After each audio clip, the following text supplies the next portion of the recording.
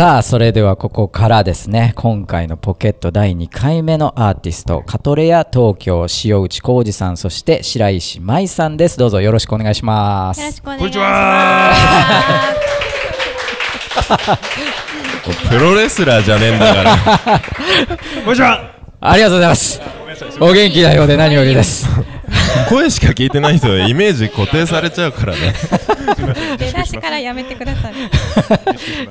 さあこのね、えーお二人、えー講師ともにパートナーというお二人ですけれども、えーオーナーの立花さんとのつながりも非常に強いということではい。はい立花さんの方からまず簡単にご紹介いただけそうですすまかね。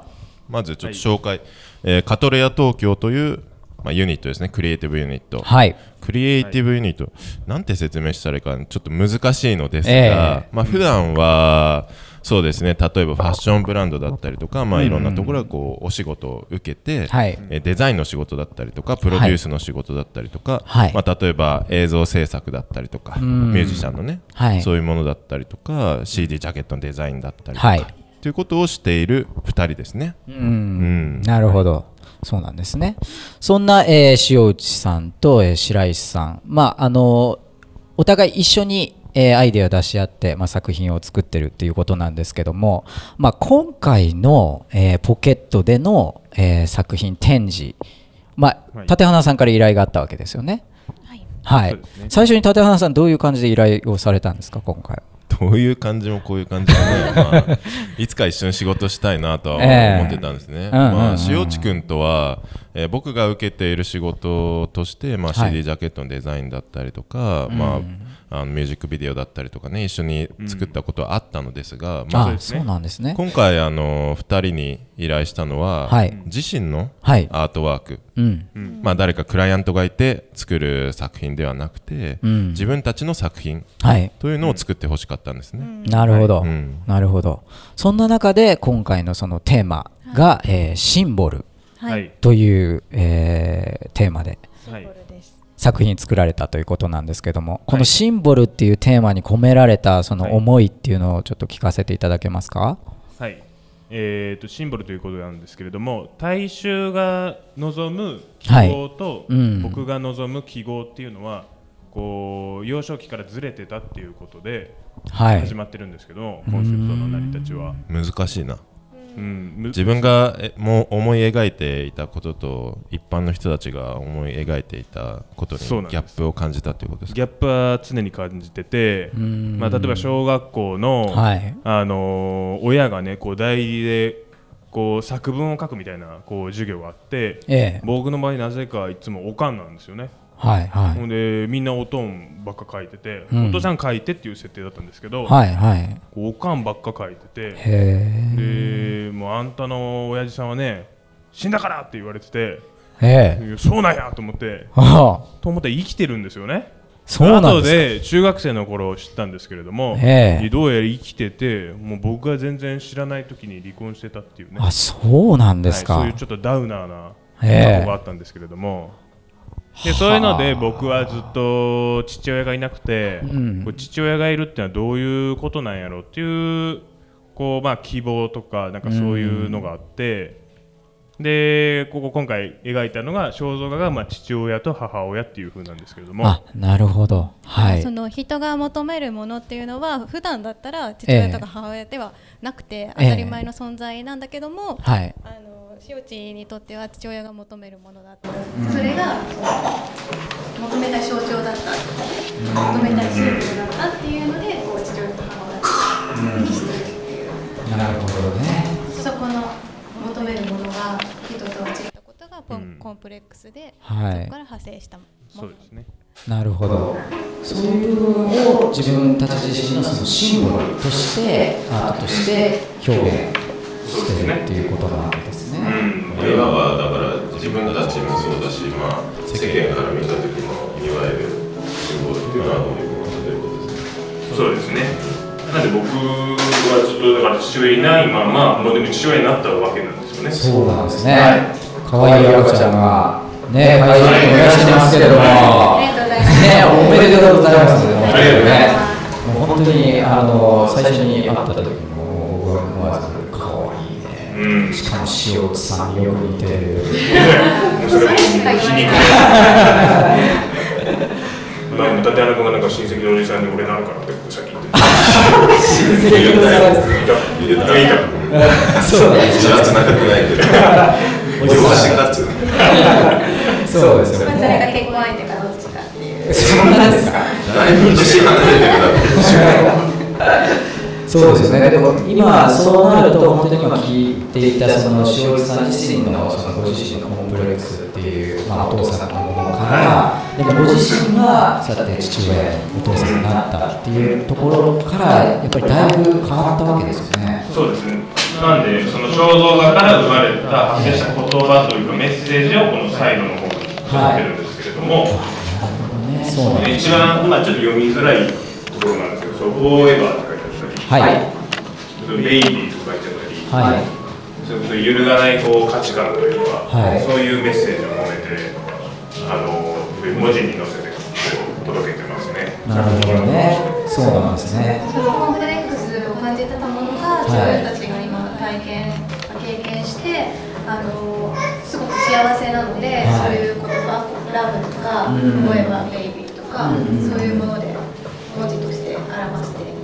なるほど。現在、あのこちらの、えーサイドの壁の方ですね、にある方が、えーそういう言葉を使った、えー作品というふうになっているということですね。はい。はい。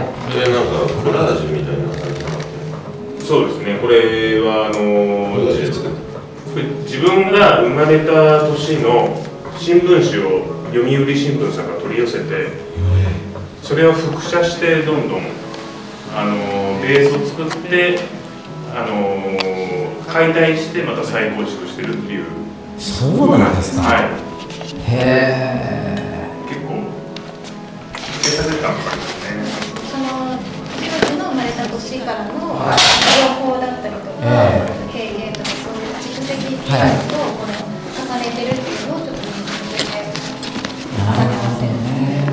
これはあの手作業ですか？そうです作業とコンピューターを往復してるああ、なるほど。そういう形なんですね。いや、まさかね。あのね。ひいきですねそういうドラえもんと一緒ですねドラえもん。はい9月3日なんであ、そうなんですか。ドラえもん9月3日なんですか。そうなんですおお、初めて知りました。それは来た人に言ってですねあ、それがどうしたのって言われるあーいやかなりね、親近感がるんでしょうね。さあ、そんな、えー作品の、えー手法とこちらも同じになるんでしょうか。今回メインの、えー作品っていうふうになってますね。こちら、えー大きいパネル2つこちらにございますけれども、えー展示会場の方だと上の方がシンボル・オブ・ラブということでオードリー・ヘップバーン、はいえーモチーフに使われてますけどこちらは？そちらあの母親をイメージして、はいあのー作ってますねなるほど。はい。そので下が父親です。はい。下の方がですねこちらもシンボル・オブ・ラブで、えーモチーフがアルパチそうですね。ンすごいお父さん像ですね。でもものすごく顔顔が父親に似てるんですよ。そうなんですか。すっごい濃い顔してて、うんでこの雲がちょっと使われてるのとかも、はなんとなくのイメージしか本にはないので、はいなんかちょっともやがかかってるというか顔はなんとなく濃いとかは分かるんですけど、うん全体像は分からないので、うんもやもやもやあそういうことなんですねなるほどねうんそこに、えー言葉で、えーラブという言葉で、まあ、囲ってあるわけですよね。そうですねうん求めてたものにあの親とかその母はい親父親に対してのコンプレックスから求めてたものに、まあ、現在自分たちが親になって親がいないと成り立ってないっていう、うん。それを言葉に表した時にラブっていう言葉がぴったりだったのでなるほどね。なるほど。そういう意味が込められてたわけですね。そうですね。うん。お母さんは踊りヘッパーに似てる？のうんまあ似てますね。すごくないですか？お母さん踊りヘップバーンお父さんパチですよ。うんなんで僕もちょっと規格外のその体というか 巨人症になってしまった えー、そうですか、すみません。190センチの？いやまあでもね本当にそれが今ねこうやって聞いて初めてねそういうお父さんとお母さんのイメージだったっていうことが分かったと思うんですけどもねそして、えー作品の方、えーこちらへ正面のねえー移っていこうかなと思うんですが今度ひときわ目をこちらも引いてますが、えー自転車ですよね、はい自転車に、えーこのアートを施されているんですがそうですね。こちらは？こちらあのよく見るとなんか意外とみんな気づいてくれないんですけど、はい前輪が BMX で、え後輪がピストバイクなんですよ。ああ、そうですね。確かに大きさが全然違いますよね。高低差がついてるっていうコンセプトで合体してるんですね。あ、なるほどね。前輪の方がすごい小さくてそうです。あウレタン塗装でこう、まあはい下のうんあ、はいはいはまあ、ホイールの部分にね塩地君のはいグラフィックデザインが施されているはい。い。うん。自転車作家の人にはい作れる方にお願いをしているんですけれども、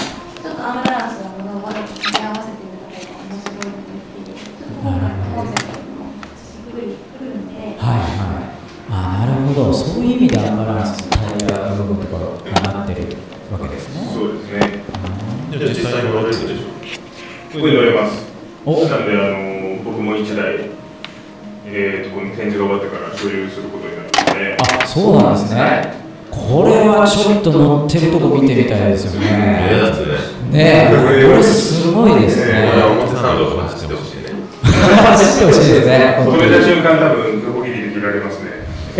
そんなことははいないあ、そういうことですね。、はい。やーでもねこれなあのここからですね見ると結構いろんなあの電気の部分も光ってたりとかですねいろいろ細かい部分も。結構入ってくる。ハイテクですよねこれハイテク LED なんですよ LED なんです。かはいほうこれも最初からもうこういうの作ってって言って作ってもらったってことなんですね。そうですね、でもあの細かいパーツの部分はやっぱり自分たちでこうデザインしてるんですけど、このシンボルのところもん。レーザーコピーしてるんですよ、へえうちの。ブランドのプレートね。これはねもうなんか人気出たら販売とかいうもっと量産していくっていうこともありえますよね。一応ここでも購入いただけるように販売あそうなんですね。オーダーとして。はい。オーダー受け付けてると。ちょっと今の聞いたらこれ飲みたいっていう方がねいらっしゃるかもしれないので。うん試乗させてもらえるんですかこれ？市場店内市場があいいですねさあそんなね自転車の方も、えー大変素敵な感じになってますがそのすぐ下にあります今度こちらはスケートボードですねそうですね。はい、スケートボード、えーこちら展示会場の方には、え4つ並べてありますけれども1つずつなんかあの塩地君のね、はい。大好きなストリートグッズってい。う感じですよね。そうですね自転車ずっと乗ってたもんね。自転車はもう本当にずっと乗ってるし、あのースケボーは中学校の頃あの乗ってて、坂から下り落ちて、こけて、足全部血だらけになったことがあるんですけれども、そういう思い出もあって、ちょっと。はそうなんですねでまあ、あの今回そのスケボーにこの、まあ、4つありますけれどそれぞれこれテーマがテーマというかそれぞれものたりしますこれはあのメインからの あの周りの記号の派生で、こうここ左2つはうん作られてるんですけど、右2つはその僕の生まれた日の新聞紙をベースに、見たものとか。そうですね。左側の2つは要するに文字っていうことですね。これは文字ですね。ラブの文字が分解されてる。そういうことですね。なるほどねちなみにこちらも、えー実際使用することができるあ、できますですね全部できますはいはい販売してる。これ販売します。あいいですねはい。なるほどね綺麗ですよね。綺麗ですね本当にあの色合いが本当にとても綺麗なんで後で映像でね皆さんご覧になる方はぜひ見ていただきたい新なと聞がプリントされてるスケボは初めて。ねまれた時のね新聞ってすごいですよねこれはなかなかないですよねそういうのはね外人に見せたいですね。外人に見せたいはい。僕プレイボーイですね。新聞の文字がはいはいはいそうですここからですね。そうですね。What does it mean とか言われそうですね。あのちなみにはい塩さんが生まれた時の新聞っていうことなんですがあの何年の新聞なんですかこれ？1985年85年ですか、はい。9月3日9月9月3日ドラえもんと。同じ僕ら同い年なんですよあそうなんあはい。そうですか。なるほどね。その辺もすごい縁があるんですねじゃあ皆さんね。さあということで、えーさらにこの展示会場のサイドの、えーサイドの方ですね、はいやっていこうと思うんですがこちらまた全然違う作風になってますけれども。はいこちらはどう？はあのー、レーザー工具を使って、はい。焼いてるんですよ、すぐ。い、うんうん。でこちらがこう焼き切ったはい方で、左の方が、ええ。で右の方は毛がくっていう高知球取ってこう焼いてるんですよ、紙を。紙を焼いてるんですか？ははい、面白いですね。何を表現したんですか？これも本当に記号を表してて、ええ。左2つは母親の肖像画の別の切り口というか、はい。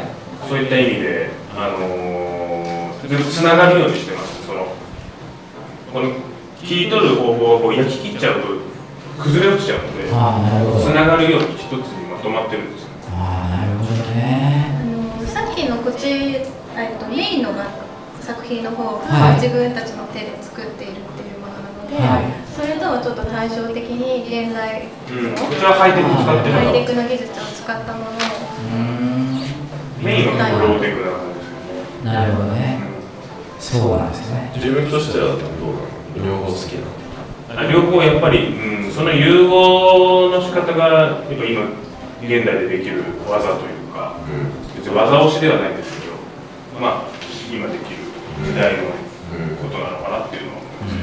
自分が一番気に入ってる作品はちなみにどれですか？あでもメインなんですけどメインもっと4倍とか5倍ぐらいの大きそう。ですね縦1メートルぐらいありますね。そうですねこれすごい大きい会場でこれをこうもっと大きく当倍にして、うん。あのやってみたいんですよね。なるほどね。うまあでもやっぱりそれだけ大きな存在っていうことなんでしょうね。父さんお母さんもね。んうん。結構やっぱベースがそういうところにあるというか、こうやっぱりその話を聞かずに見ただけだとなんかすかそういうポップなこう肖像画に見えるんですけど、結構ベースにあるのはそういうマイナスな気から生まれてる、けどこうプラスに見えるような、そういう 振り幅はこう出してるのかなと思いますね。なるほど、そうですね。ということで、現在ですね、こちら、カトリア東京のお二人の、えー展示ですね、えーこちら、ポケットの方で7月10日まで行われているということですね。えーより詳しい詳細を、えー知りたいという皆さんはですね、ぜひ番組の、えーホームページからのリンクで、えーポケットタイムズというのがありますよね。はい、そちらの方で、えー近況とか、えー状況とか、まあ、いろいろなものがアップされてますので、皆さんぜひチェックしていただければというふうになります。Facebook の方もやってますよね。はい。はい、ということですので、皆さんぜひそちらの方からもチェックしてください。さあ、ということで、えー一旦ここでですね、曲に行こうと思うんですが、今回の曲は、塩口さんに選んでいただきました。はいはい、ファンキー DL ということですが、そうですね、これ僕が初めて買ったレコードのども、えあの当時お母さんの友達の自衛隊の人が、ええ。あの DJ を教えてあげるって言ってえへ中学2年の頃はちょっと別タックスの式買いなさいって言われて。ーお母様にですか、はい、お母さんすでちょっと買ってもらってその自衛隊の人にしばらく教えてもらって、自衛隊に DJ を教えてもらった。で自衛隊の寮とかにも行って、はい。DJ のこう作法を教わってて、はい。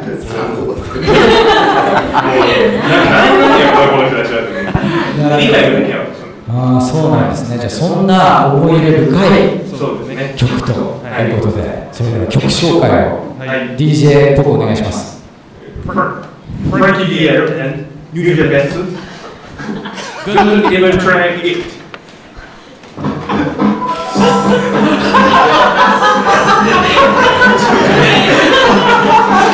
面白いわ。